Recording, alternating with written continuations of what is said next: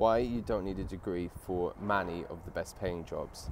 Now, obviously, some of the best paying jobs, surgeons, doctors, lawyers, they just have to go to university. There's no way around that, and just forget about it if you um, if, if you've got any other notions in your head. But technology, which is what I focus on, absolutely is available in abundance to people without uh, traditional qualifications, without formal qualifications, and all you really need is a strategy for getting into it.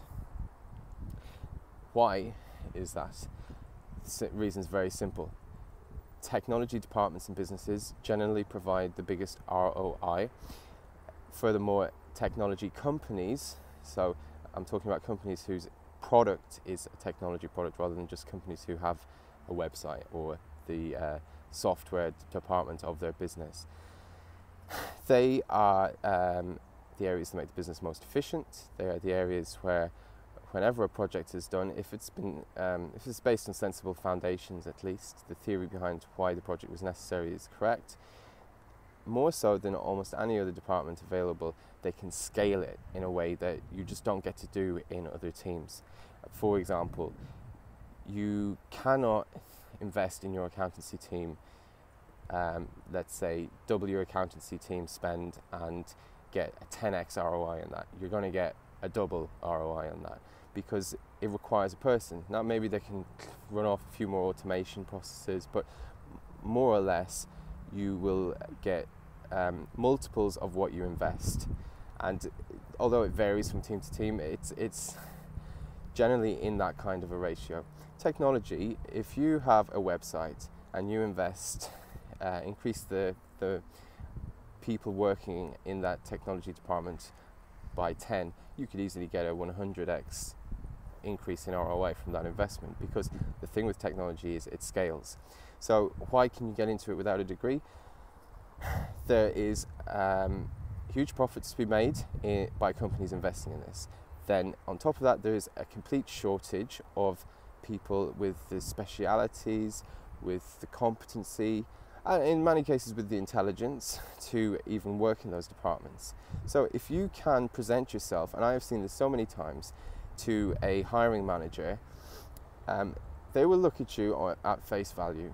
They will look past any kind of a background. They will look past any lacking of education. I've worked in tech teams where guys had done uh, guys had done time in jail and they weren't able to get work anywhere else, um, but they managed to go learn some coding or, or some element related to technology and they they were hired and they were getting big big money. I've met so many guys who've never gone to university but they spent a bit of time learning a skill in their spare time and were able to demonstrate it. And um, that is the key being able to demonstrate it. Obviously techherds.com our website has a 10 step guide it's not the only way to do it. There's lots of other websites on the internet you could go to as well.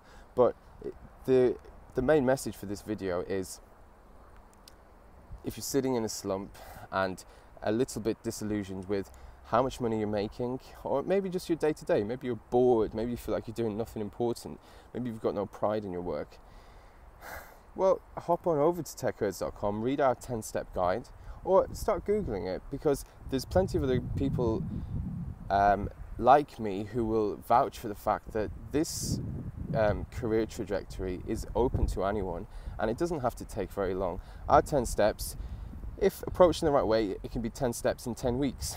There's, there's other alternatives, but there is many ways to do this to go from zero to hired in three to four months, even if you don't want to go with techherds.com.